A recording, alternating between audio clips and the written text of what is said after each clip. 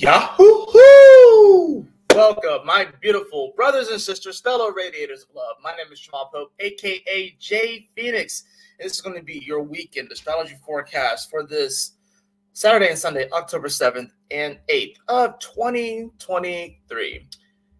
Trusting you guys are having a wonderful day so far. Hopefully, you guys had a wonderful weekend. Hopefully, you guys have a, a fun weekend planned ahead for you guys. Even though we do have some pretty massive changes that are occurring this weekend, some shifts, some tensions that are definitely building and coming exact.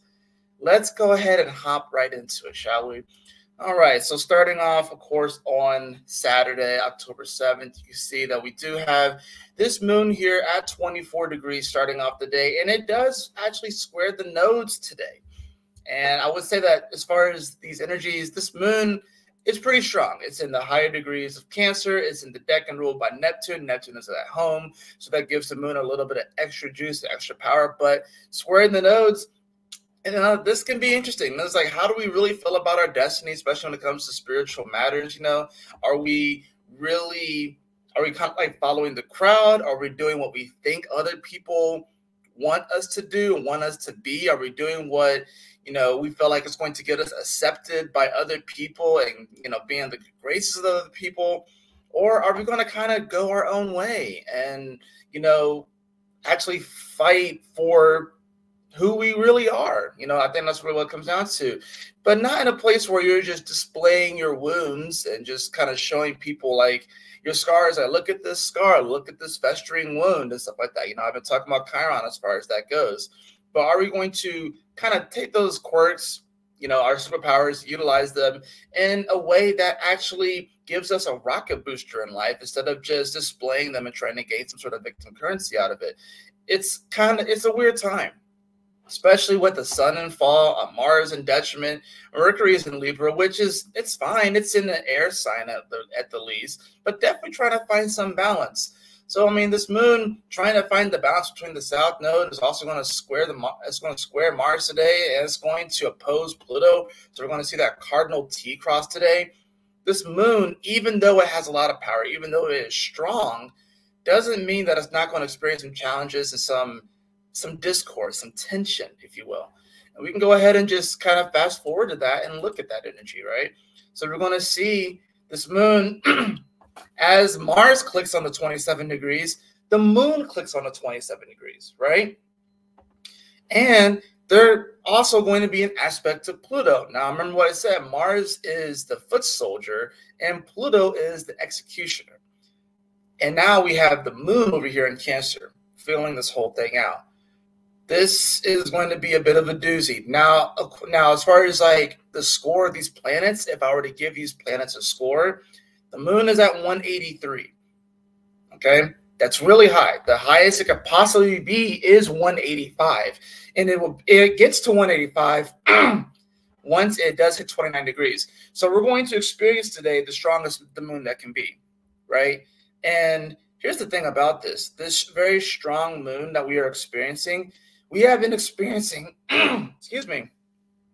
We have been experiencing very strong moons so our emotions have been very strong and stuff since Neptune has gone into Pisces. So whenever the moon gets into these higher degrees of Cancer, it has a very strong score.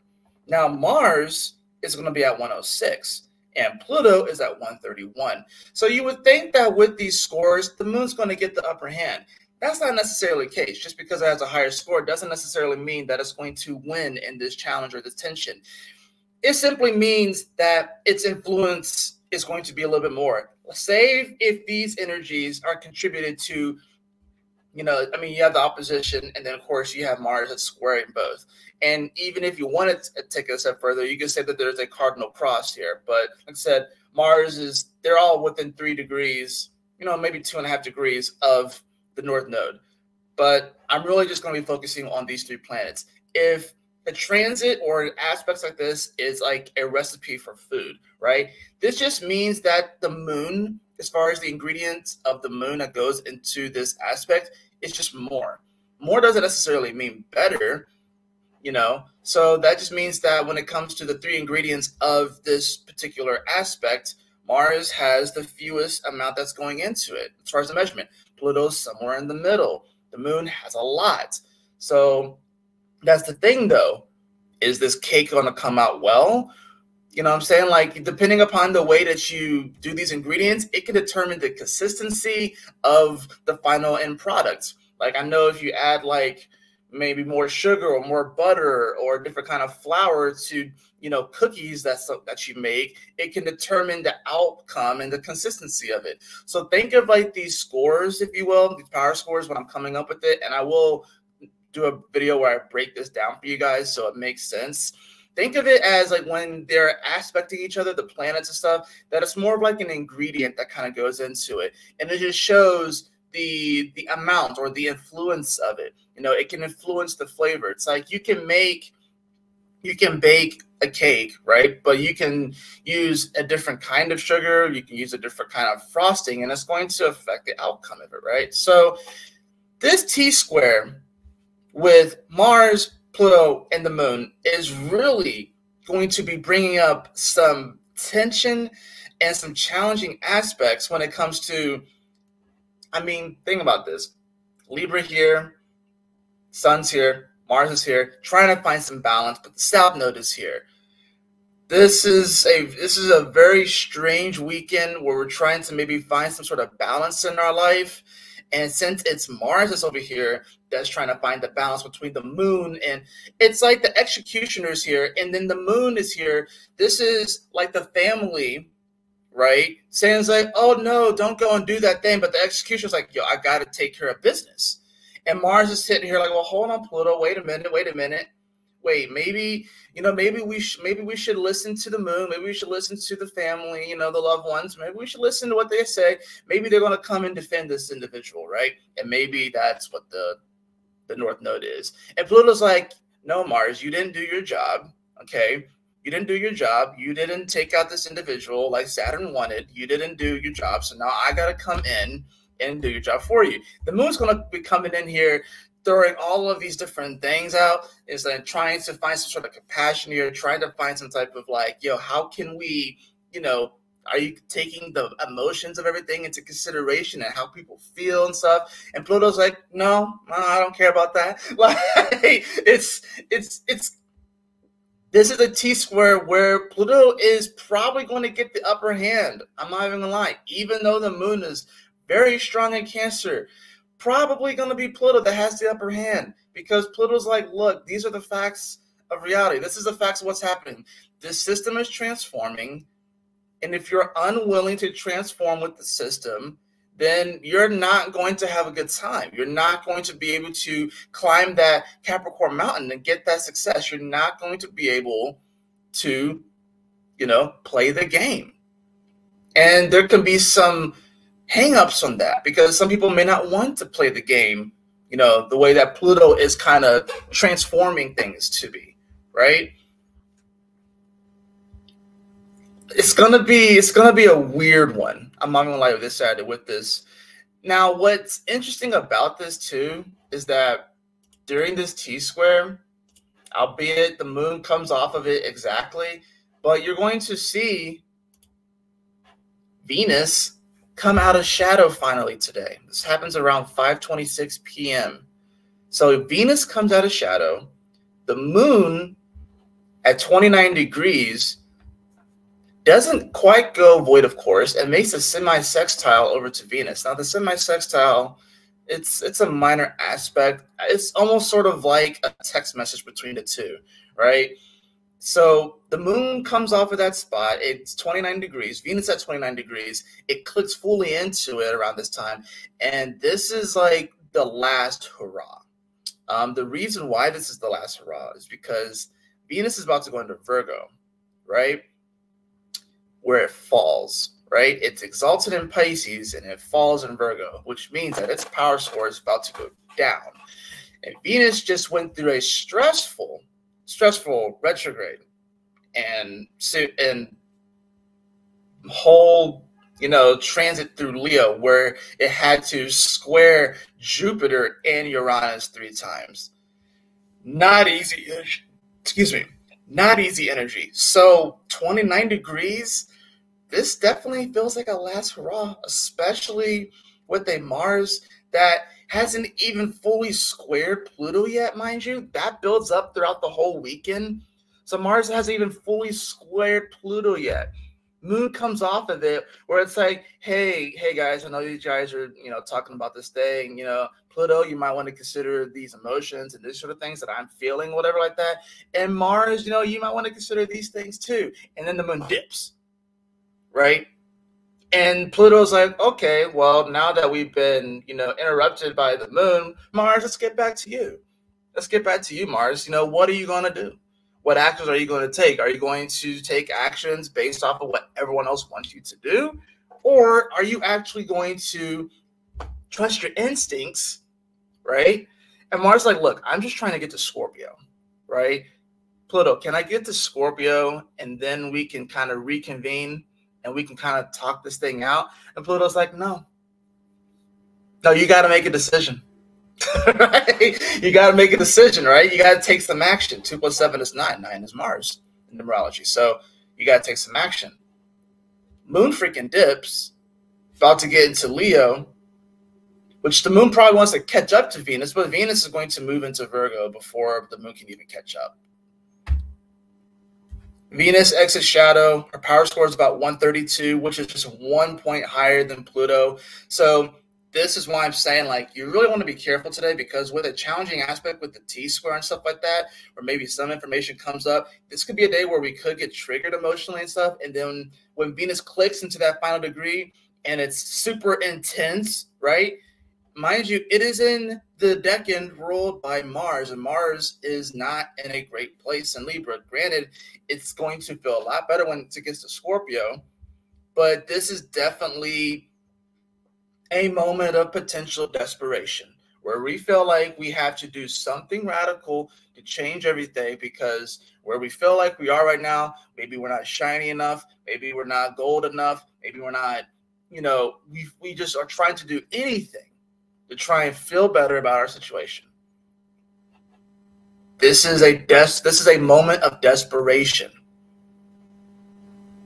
Don't get too caught up in what may come up though through this because you don't want to take some sort of action that dramatically alters the course of your life because you think it's going to bring you the edge that you want, the excitement that you want, the love that you want, the money that you want, the insert whatever that you want, the happiness that you want, the joy and the passion, because you want to do something that makes you feel the vigor for life, but it's wild, it's radical, and it's not going to lead you. It's not the grass is not green on the other side. I'm sorry. It's not. Don't get sucked in today. Do not get sucked into the Venus games at the end of Leo.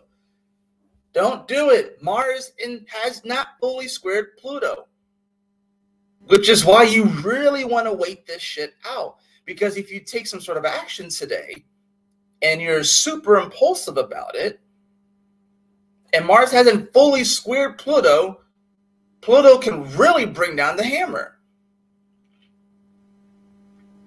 I think there's a definitely an element of transformation that's happening this weekend, but we don't want to force the transformation. We want this to happen naturally and organically. The moon moves into Leo, right?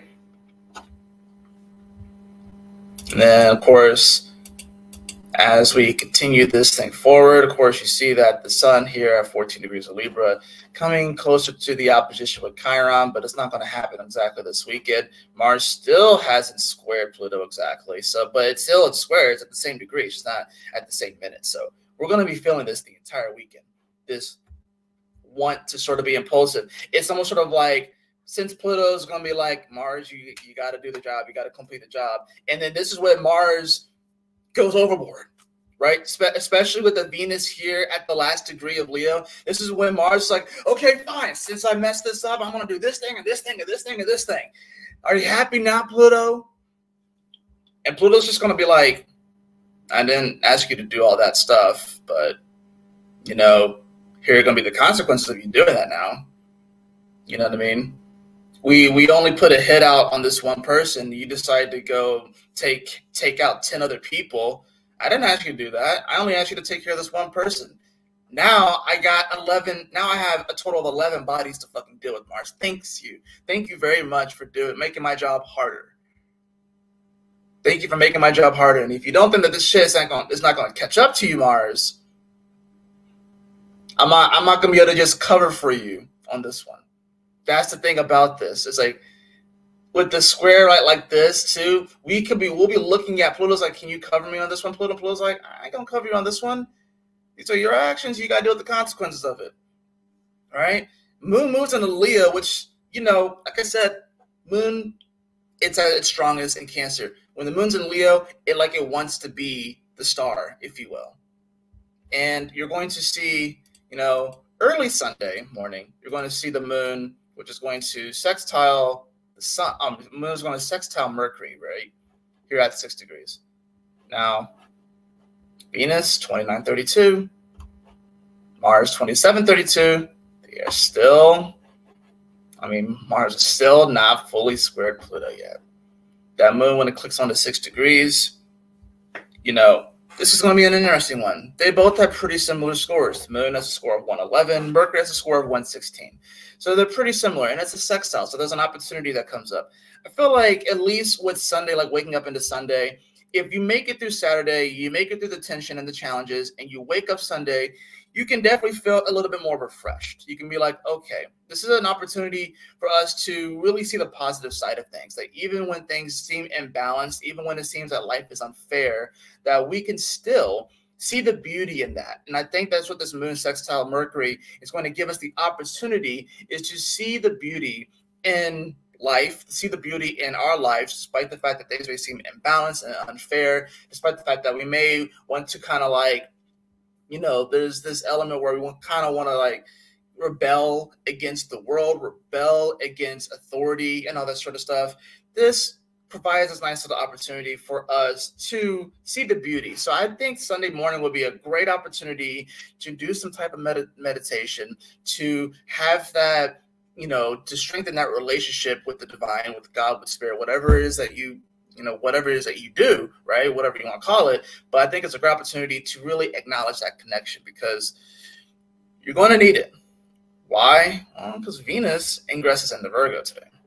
So it's like venus still feeling fired up it's almost like this is literally like that last hurrah right before she goes into virgo this is like where she's trying she's like getting super drunk you know what i mean she's getting super drunk the night before she has to leave, you know, her vacation and make her way back home. You know, and it's you got to think of, and here's the thing that you got to think about this too. Is like Venus is uh, it's moving into Virgo, it's in its fall position. It'd rather be in Libra, and Virgo is the 12th house to Libra. So this is about to get very spiritual and very weird and shit too. So this is definitely a moment here in the morning where we just want to acknowledge and I think appreciate the things that we have in our life and what's going on. If anything, an attitude of gratitude is really going to be the key to Sunday. Why? Well, you're going to see, of course, and it's towards the end of the day, because I mean, you're going to see this moon, it's going to hit, you know, 13 degrees, and then bam, well, you saw that, right? So you're going to see what's interesting about this is that you see Venus 2958. Look at Mars 2752, 2753. The moment in the within the hour towards the end of the day, 12 hours later, mind you, from the moon sextiling Mercury. Literally 12 hours later, click Venus 00 Virgo. Mars 2754, 2753. It clicks. 9:26 p.m. This clicks. Venus ingresses into Virgo and immediately loses power. Immediately loses power. She goes from 132 to 60. Her power is cut in half. Just like that. Just like that. So this can definitely feel, especially because Mars, at least down to the minutes, so maybe subtle, moves past Pluto as far as the square goes. So you feel this building up, you feel this building up, you feel this building up, the desire to be impulsive, desire to change things, and then bam, Venus moves into a spot where she loses half of her power. Mars clicks ever so slightly past Pluto. And then this is the moment where if you did something super impulsive, the wind goes out of your sails so fast that you just hit like this, you come to like this grinding halt. This just like you like, and then this is the moment where you look at your life and you're like, oh shit, what the fuck did I just do? That's if you go the super impulsive route. Now, if you go the route where you hang on, and even though this may challenge the way that you feel, you may, yeah, you may feel some type of way about this week. I'm not going to lie, beloved. And you may, yeah, you may have your gripes. You may feel like there's some injustices. You may feel like people haven't accepted you for who you are. You may be afraid to accept yourself for who you are. You may be afraid to really express yourself. You may be afraid to receive love again. You may be afraid to really manifest. You may feel embarrassed to be like, if I, but yeah, it's like, you know, saying things like, oh, I am financially abundant. I am loved. And saying these sort of things may make you feel weird because you may not necessarily believe them, right?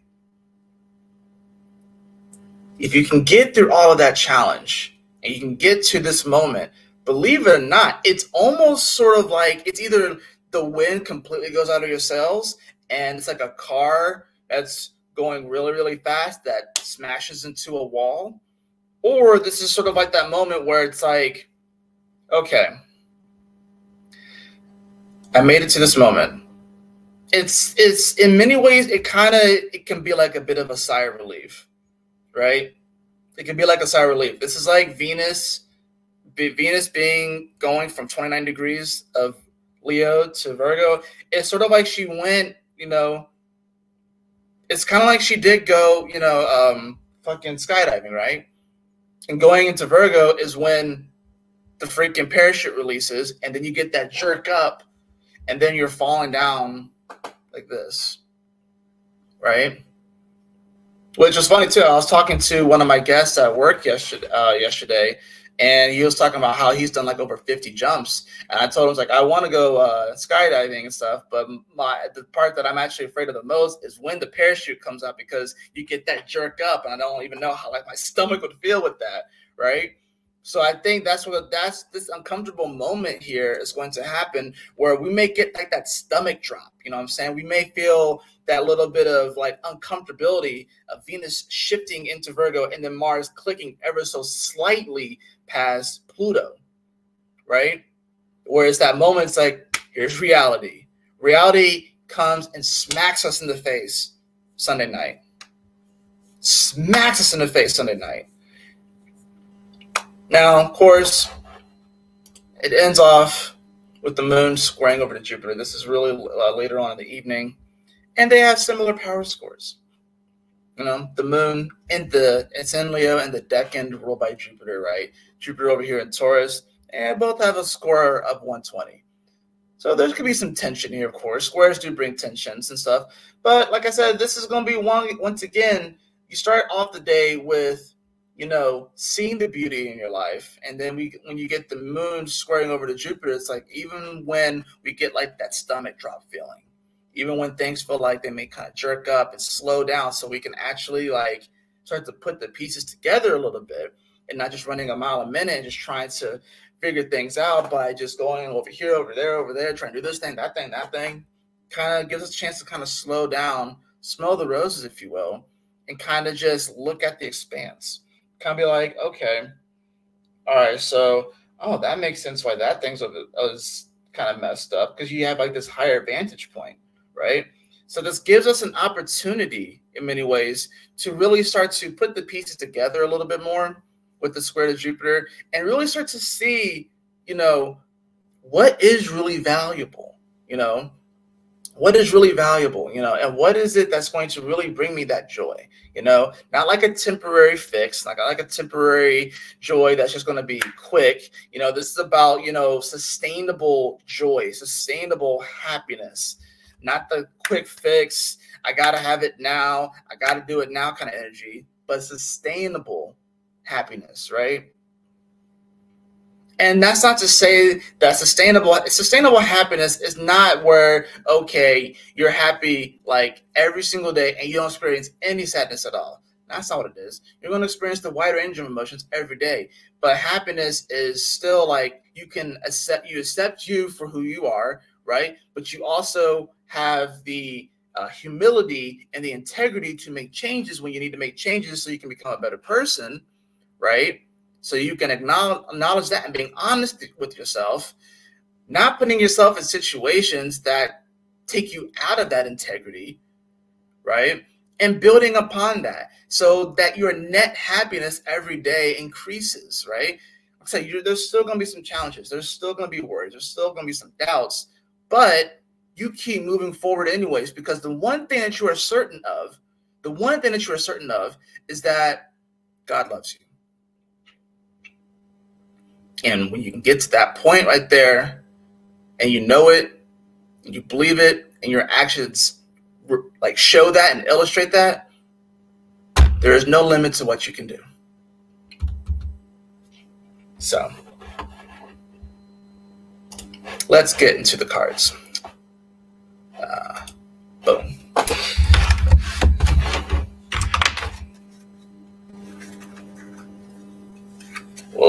Card. What did I do right here? Okay, I was about to say like, the cards were like all flipped upside down in other weird ways and shit. So I'm trying to figure out what the hell's going on here.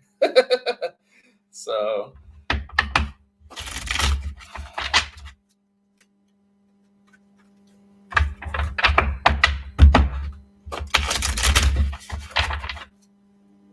This is definitely a weekend where people are going to go into desperation mode if they are not careful and do things so they can feel like they can feel like they are a part of something. They can feel like they are worthy, so they can feel some sort of excitement. Be this that weekend. You just want to be careful. You don't want to be doing crazy ass shit to try and make yourself feel better.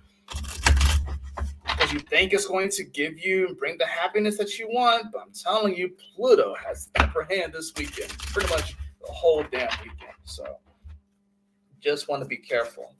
All right.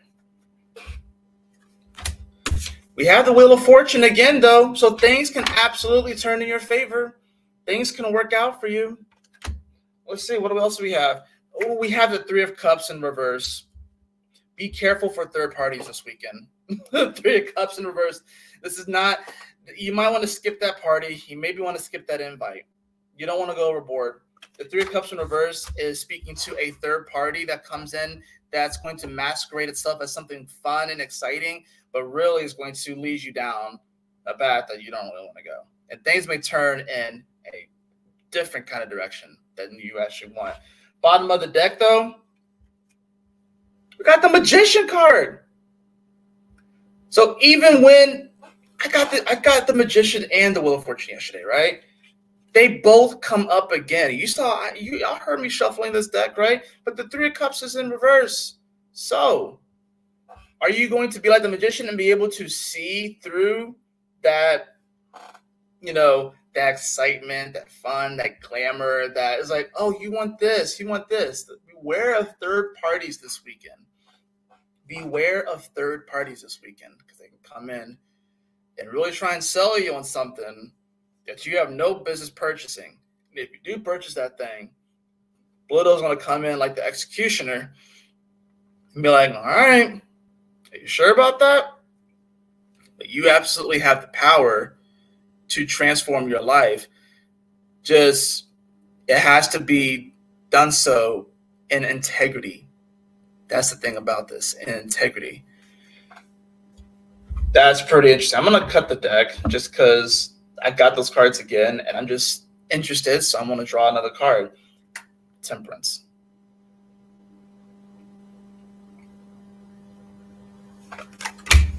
taking situations, alchemizing them, realizing that we don't have to just be. And this is this is not something like this is not a, a, weekend to just break things off, to just tear things apart. This is a weekend to allow things to simmer, transform, and to utilize the powers of nature to transform, not just, you know, okay, I have to do something. So then bam, you just break it, right? Don't be a don't be a barbarian this weekend. Okay. don't be a barbarian this weekend, right? This, this is not the time to do that. You know, it's like it's definitely i mean yeah I've, i mean the north node is in Aries so there's an element of like bringing out that warrior within us but this is like you know you got to be a warrior within integrity. This is not about just don't break formation this weekend you know what i'm saying? Just because you think you have a better idea you know it's like oh well they're telling me to go this way and stuff like that. You know i'm going to just break off and do this thing over here and then your commander's like what the fuck are you doing? He's like it was like you clearly have a i mean you clearly have a problem with authority shit like that. I'm telling you this for a reason. I'm not just telling you this because i want to just rule over you and command over you. No i'm telling you this because this is the best plan of attack. You doing that you just compromised our position. You just compromised our position because you thought you knew what was right because you think that i'm just trying to command over you and lord over you. No no, there's a reason why. There's a strategy here.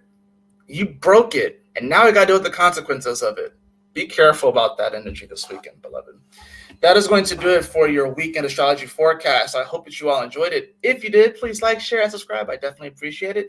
If you guys have a personal reading with me, beloved, you can follow the link in the description below to my website, jayfenixx.com. And as always, y'all take care, stay blessed. I will see you guys on the next video. Peace.